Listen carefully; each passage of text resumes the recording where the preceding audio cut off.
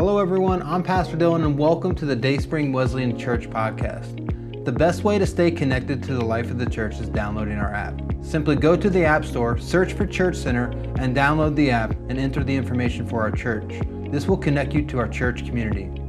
I pray the following presentation will inspire you to come closer to God in this journey of faith. Enjoy listening.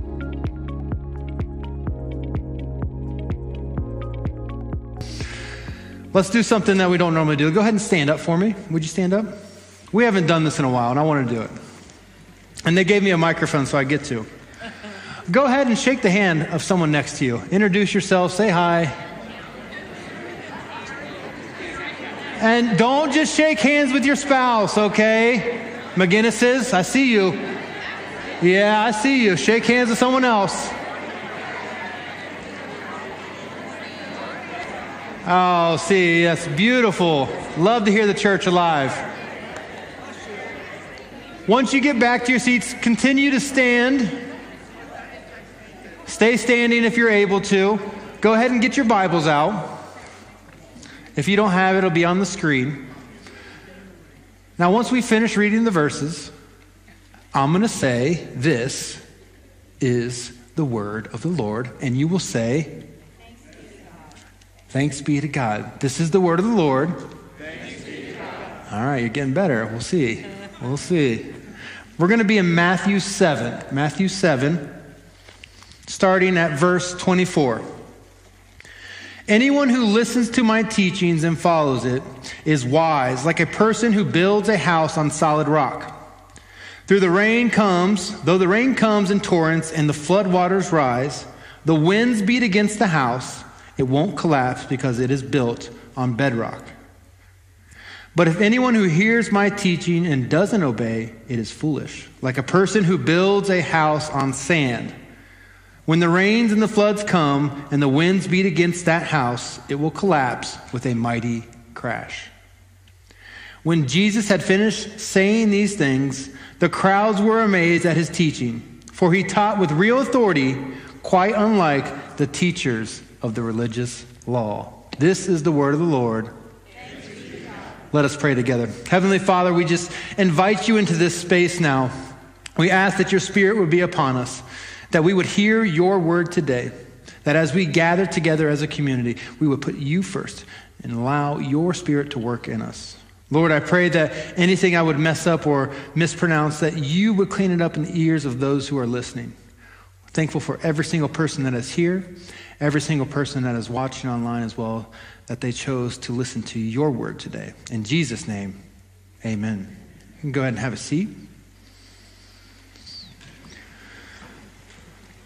I was trying to think of a, a good opening story because I feel like Pastor Chuck always has like these great like comedic moments in the middle, like the beginning. I'm like, all right, I got to top him. I can't, I can't let him be. I'm really competitive by nature, so I'm like, I got to think of something really good.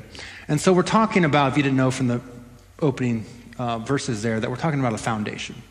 So I thought, what's a good foundation? I was like, well, I could talk about being barefoot. That's a good foundation, you know, walk around. I mean, if you notice today I wore shoes, okay. All right, all right, I wore shoes today. Next Sunday, I'm not wearing shoes. I can promise you that. But I was like, no, I'm not going to talk about that. And then I got this idea of talking about Lego. Someone told me first service, even if it's plural, you say Lego, not Legos. Did anyone else know that? Yeah. You guys knew this? Mike didn't. He didn't know that. It's Lego. I was like, Did you listen to any of the sermon?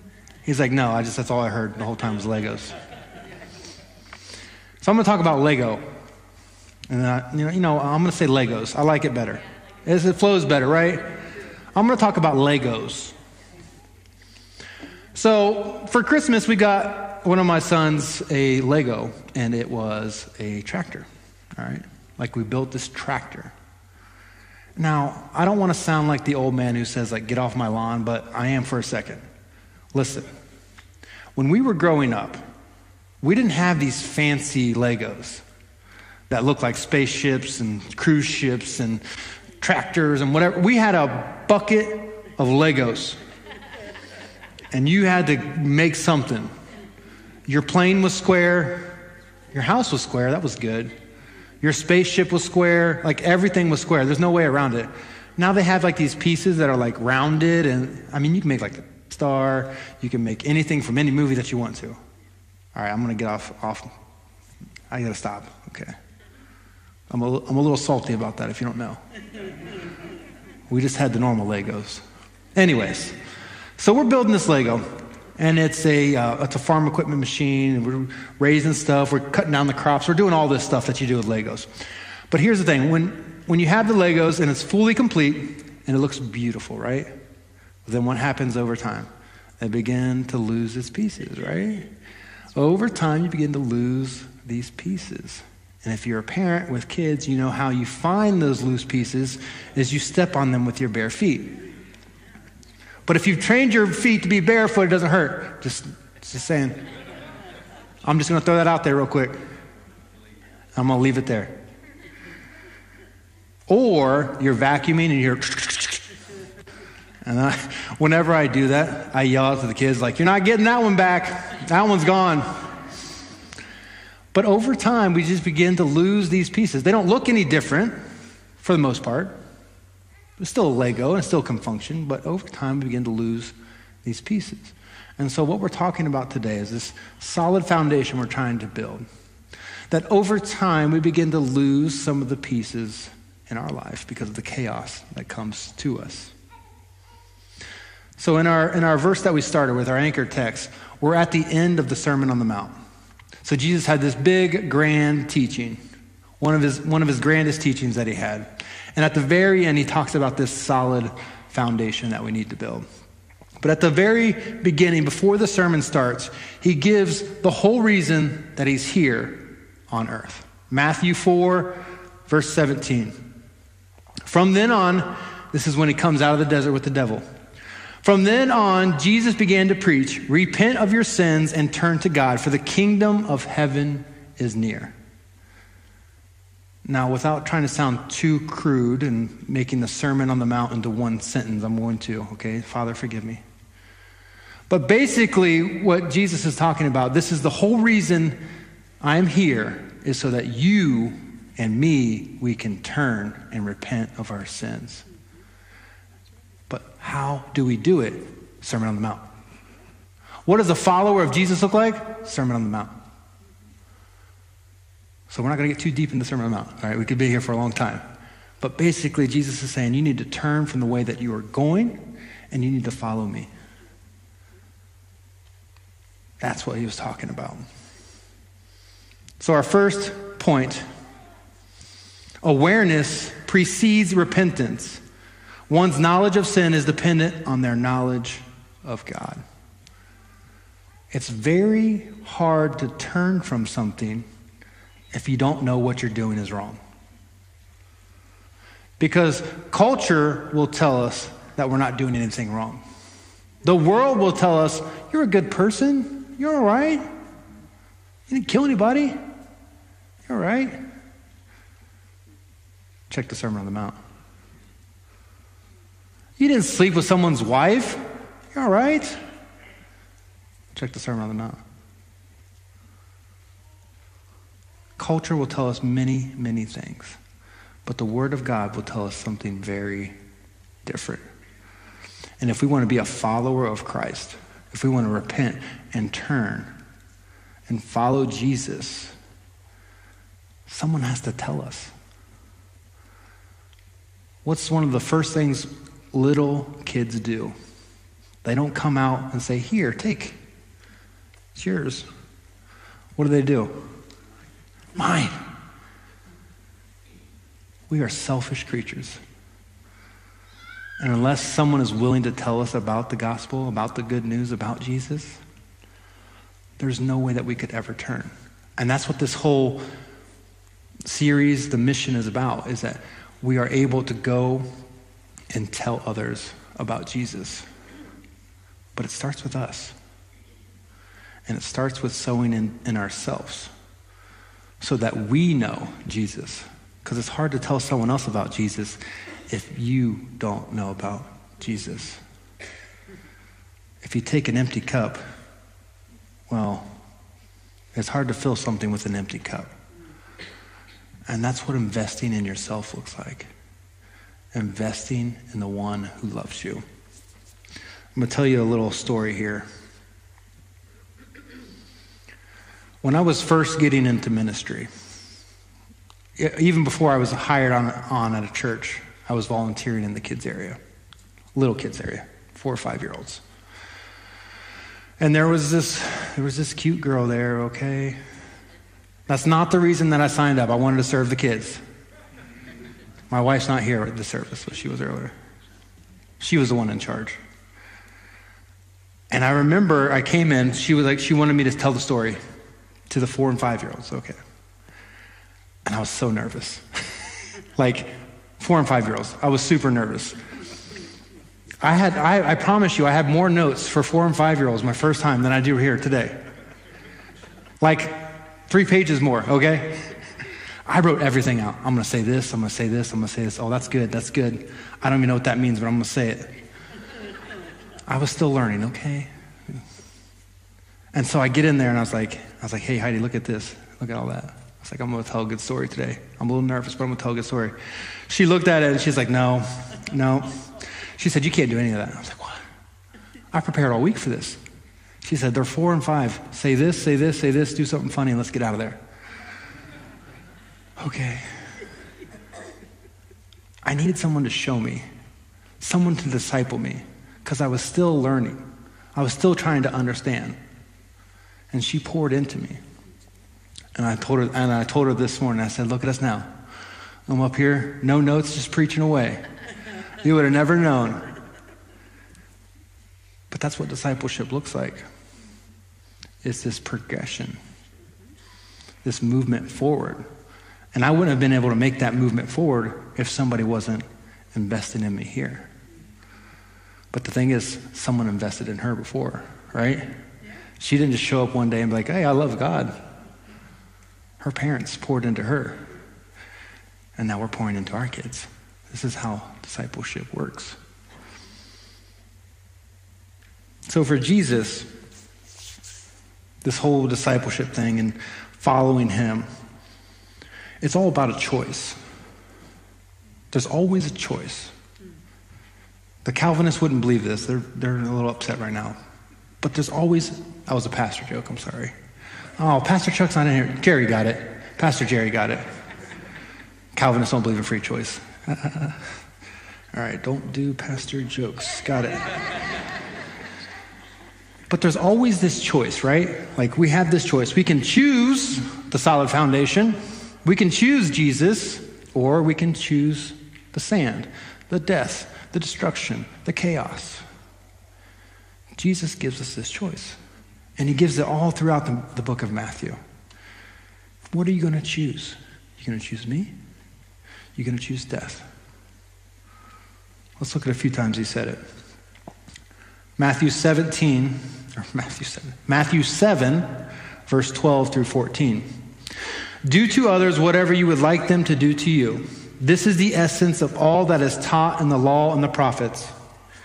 You can enter God's kingdom only through the narrow gate.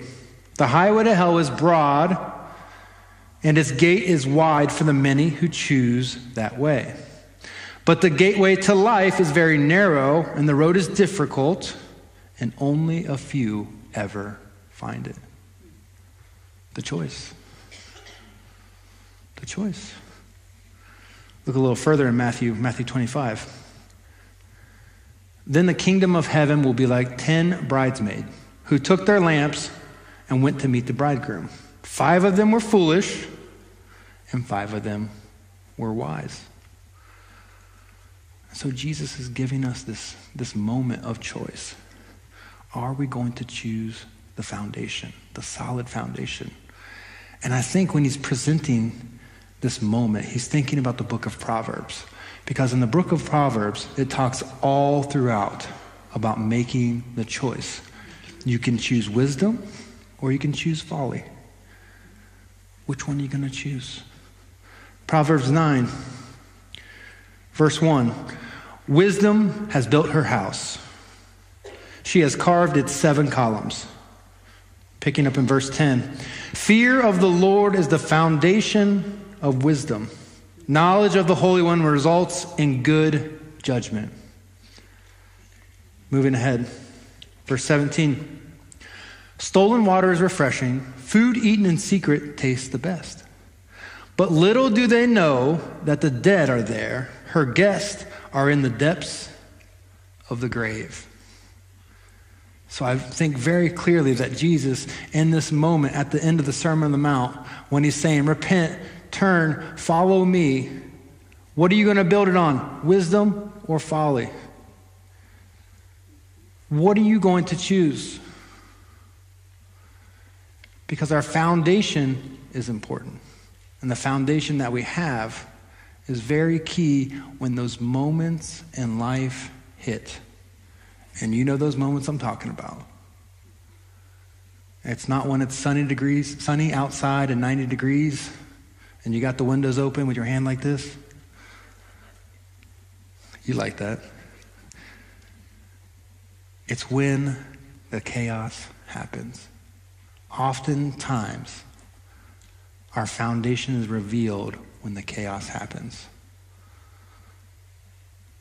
When things start to go awry, what do we build on? Wisdom? Jesus? Life? Death? Destruction? And really, the, the foundation of what we're talking about, the, of discipleship and, and wholeness, is shalom. True discipleship, true guidance, comes from a foundation of one's holistic holiness.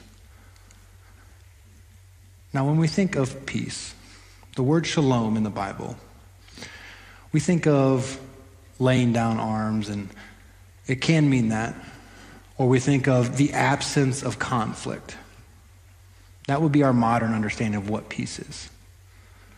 But when the authors are using the word shalom, and what they're talking about in peace is this wholeness, whole body, this holistic holiness, mind, body, and spirit together, following God. That's what true peace is. True peace is when everything about me is following Him. Because the thing is, we're not, we're more than just our mind. We're embodied people. I mean, we have arms, we have legs, we're alive. Jesus was embodied, right? So it has to be important if Jesus did it. The way that we live this life is important.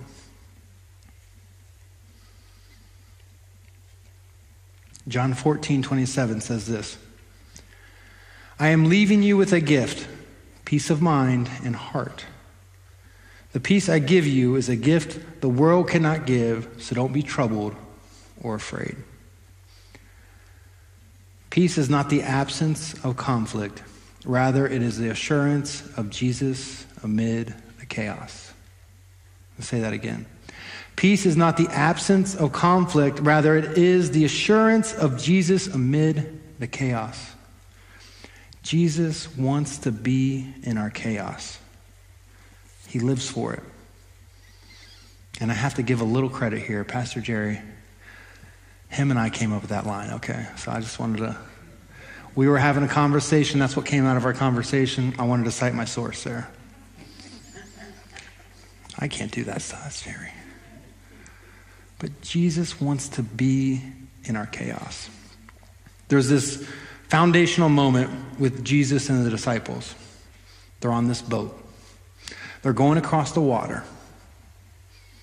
Everything's perfect. Jesus falls asleep, sea's nice and calm, beautiful scene. Then the rains come, the wind comes, the thunderstorms come, chaos comes. And chaos is at their doorstep. And what do they do? They run around. Where's Jesus? Where's Jesus? What's Jesus doing? Why is he sleeping? What, help us, Jesus. What are you doing? Wake up, Jesus. And he's just sitting there napping, just sleeping a good one. Mark 4, verse 39. This was Jesus' response. When Jesus woke up, he rebuked the wind and he said to the waves, Silence, be still. Suddenly the wind stopped, and there was a great calm. Jesus controls the chaos. Jesus controls death. He defeated it. On the cross, he defeated it. The chaos has no power in our lives. If, if we're willing to trust him. Because in those moments of chaos, those are the hardest moments to trust. The hardest. Because when the chaos is around you, when the darkness is around you, you want to do what's easy. Because the right thing isn't always the easy thing. Some of you have heard me speak before, some of you haven't. But I was living in the darkness for a long time. I'm coming up on 13 years of sobriety, and I lived in the darkness. I had to make the choice, often the wrong choice. Do I continue with my addictions or do I pay my electric bill? What's easy? Well, it's easy to keep doing what I'm doing. We'll think about that tomorrow. Culture will tell you it's fine, it's okay. You're not hurting anyone. What are you going to choose? Wisdom? Jesus? Life? Or are you going to continue through death and destruction? Now, for me, it was drugs and alcohol. For other people, it might be sex, it might be food. There are many things that keep us from the light. Some of us try to escape, right? Oh, this is too difficult. This is too hard. I'm just going to pull back and go play my video games. Oh, I don't really want to deal with this right now. So, what I'm going to do is I'm going to take my kids to every sporting event that I can. I'm having marital issues, but if I just invest in my kids, it'll be all right. What happens when the kids graduate? You look around, you're like, I, I don't even know this person. We all have these things in life that we put before God. But any builder will tell you that the things that you build with are very important. We talked about the foundation, how that's the bedrock. Jesus is the foundation. But the decisions that we make daily are the building materials of our life, and we can either make good choices or bad choices. This is what I tell my kids all the time. I said, There are consequences for every decision you make. They can be good, they can be bad It can go either way. And sometimes, sometimes we don't even get to choose the chaos that happens in our life. Because we live in a broken world, the chaos just comes at us. You didn't choose for your spouse to leave you, but they left. You didn't choose for your son or daughter to die early, but they did. You didn't make that choice. But I bet you in those moments when the chaos hits, your foundation will be revealed. Is it wisdom? Is it folly? So part of part of this message and where I came up with this peaceful pieces was the title of the message. I, I was speaking to the hymn sing a couple months ago, and I was speaking from Romans 5, verses 1 through 5. And we spent some time reading through it and talking, and basically what I told them was I don't know. This is what God's laid on my heart. I don't know what I'm going to do with it. I don't know what it means. I don't even know why I'm standing up here. I don't know why Jerry invited me to talk to you. I have no idea. This is what God gave me. And I read it to him and we talked about it. And at the end, I was like, there you go. That's it. That was it. But I think what God was working and what He was doing was getting us, this community, to this point. Because I think what He's saying in here fits perfect in our topic today. So let's read Romans 5 1 through 5. Therefore, since we have been made right in God's sight by faith, we have peace. Peace with God because of what Jesus Christ our Lord has done for us. Because of our faith, Christ has brought us into this place of undeserving privilege where we now stand. And we confidently and joyfully look forward to sharing God's glory. We can rejoice too when we run into problems and trials, for we know that they help us develop endurance. And endurance develops strength of character, and character strengthens our confident hope of salvation. And this hope will not lead to disappointment, for we know how dearly God loves us, because he has given us the Holy Spirit to fill our hearts with love. And so, what Paul is speaking to here, and what I think he's trying to show us, is this circle of peace.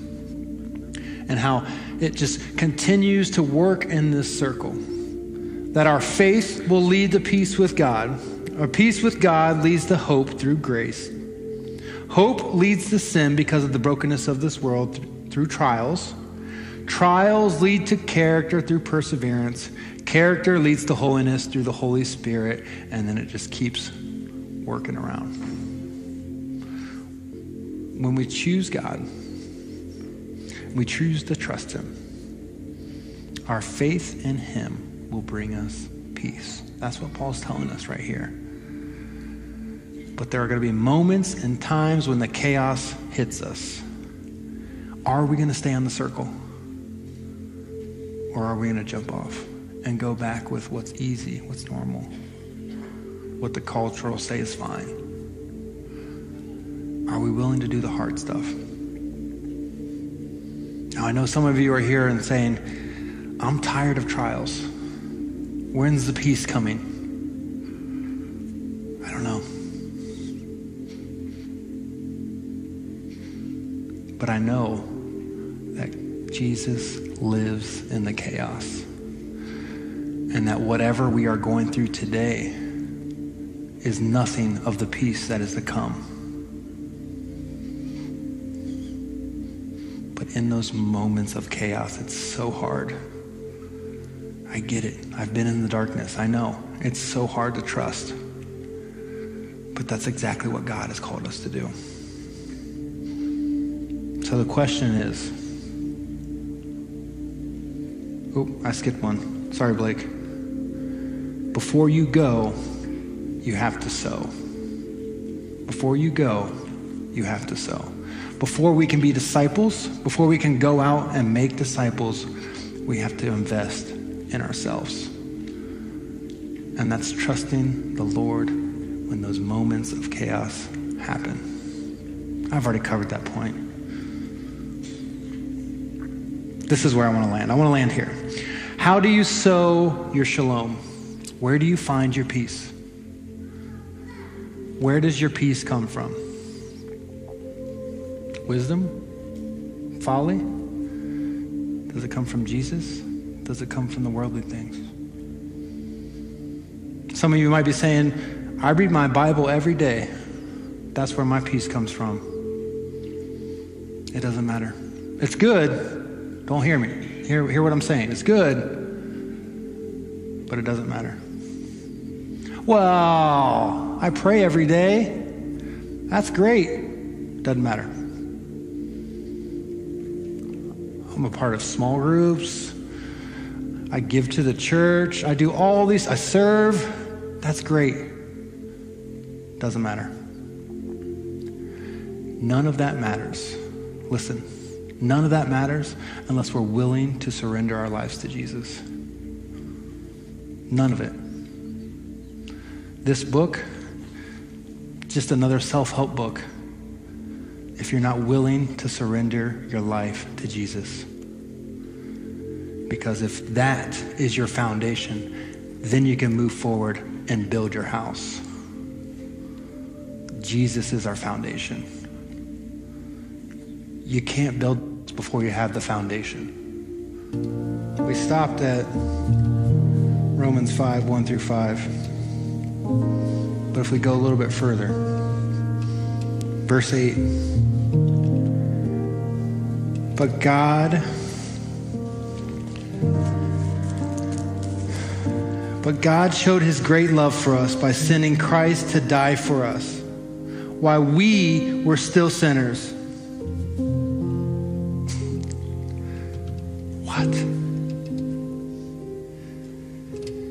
And since we have been made right in God's sight by the blood of Christ, he will certainly save us. Doesn't make sense. I don't understand it. But when Jesus went on that cross and his body was broken to pieces, those broken pieces are what restore our broken pieces. And this life will pick at you and pick at you and pick at you. And if we sit there and try to do it ourselves, we're going to fail every single time. But if we remember that his body was broken for us, that's the start. Take the bread.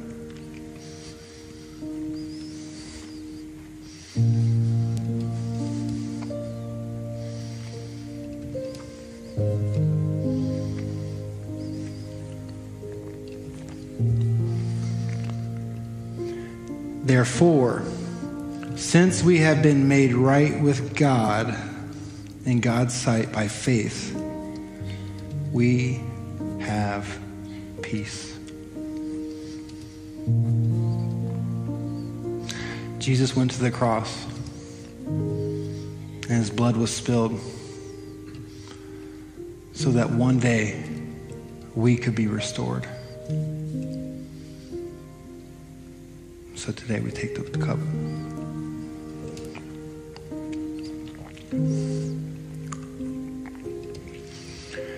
Would you bow your heads?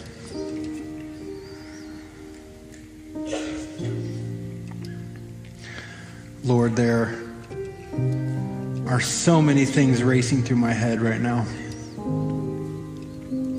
I'm asking that your spirit would be present.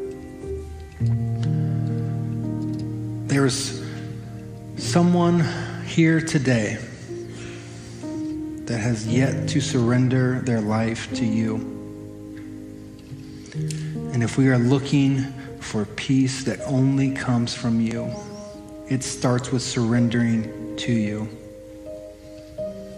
So, with our heads bowed and eyes closed, if you want to surrender your life to Christ, just go ahead and raise your hand so I can pray for you one in the back, one back there, one over here.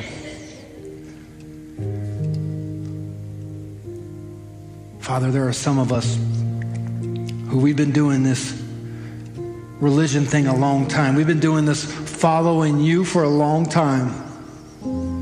But we've yet to fully surrender ourselves to you. Or we have fallen away and we want to we want to surrender to you again, Lord.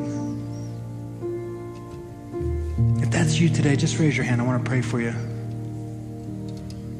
Oh, yeah, hands in the back, hands going up everywhere. Lord, for the hands that were raised, we surrender to you. We're calling upon your Son as a community that Jesus Christ is Lord, that we are nothing without you. And we know that building a strong foundation so that we can go out to the world to, to show them about you starts with us and our surrender. When we are willing to surrender to you, that's when you move in when things get crazy and chaos happens around us, that's when you move in. When we are in the depths of darkness, you move in. Why? Because you love us. You love us more than we could ever imagine. Thank you for all that you do, Lord. And I pray, I just pray, Lord, that this community would fully surrender to you. In Jesus' name, amen. If you made a decision today or you're looking to talk to someone, fill out this card, put it in the offering box back there, or just talk to somebody. But this week, you go in peace, and then we come back next week and we talk about everything that God did. Go in peace. Thanks again for listening. If you are located in the Marion area, we would love to have you join us at one of our Sunday morning gatherings. For directions, service times, and information about our fantastic children and student ministries, please visit us at dayspringwesleyan.org. That's dayspringwesleyan.org.